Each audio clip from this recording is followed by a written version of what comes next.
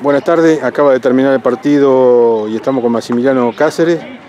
Un empate creo que justo entre Juvenil del Norte que hacía la vez local y en el suburbio. ¿Qué opinión te, merece el partido? La verdad que fue un partido muy trabado. Eh, creo que el resultado fue justo, los dos merecimos eso.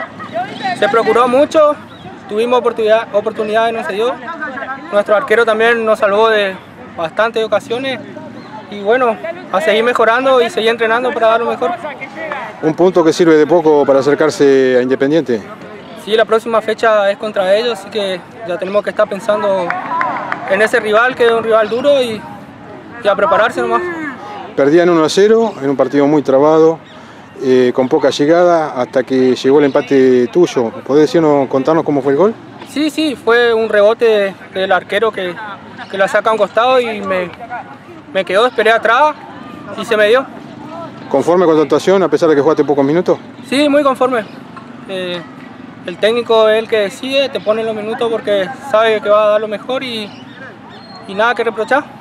¿Algún saludo para tu gente allá en sí, para, para todos mis conocidos de Formosa, para mi papá, desearle un feliz día y para todos los padres del club.